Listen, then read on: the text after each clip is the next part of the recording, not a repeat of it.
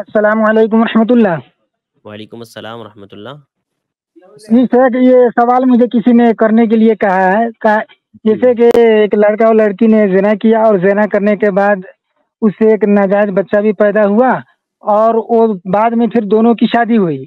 तो शादी होने के बाद अब ये लड़का उसकी विरासत का हिस्सेदार बनेगा कि नहीं? और ये जब लड़का जब जवान बड़ा हो गया और आलिम बन गया तो क्या ये कहीं पर इमामत करा सकता है? यही सवाल है सर। जी देखिए आपके सवाल में कई बातें आ गई। पहली बात तो ये कि अगर आ, किसी ने जेना किया है दो आ, मर्द और औरत ने तो उन दोनों का आपस में निकाह करना उसी वक्त जायज़ होगा जब दोनों सच्चे दिल से तौबा कर लें। क्योंकि हमने मुहर्रमात में ज़िक्र किया है कि जानी या जानिया से का निकाह सही नहीं होता है जब वो दोनों सच्चे दिल से तौबा कर लें हकीकत में और सच्चे दिल से तौबा कर रहे हैं ये वही बता सकते हैं।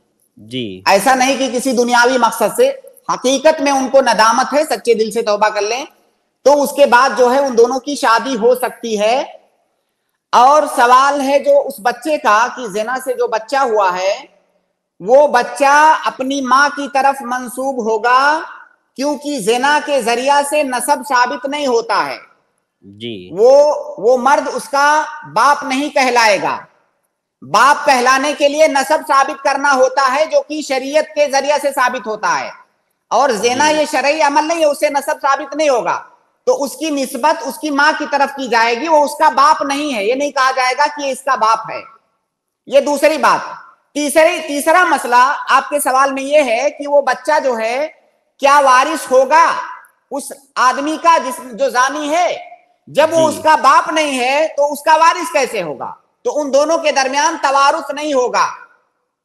जी। और आखिरी बात जो आपने कहा कि जब वो बच्चा बड़ा होगा तो कहीं इमामत कर सकता है। अरे भाई वो बच्चा जो है आम लोगों की तरह ही है। उस बच्चे का क्या कसूर है?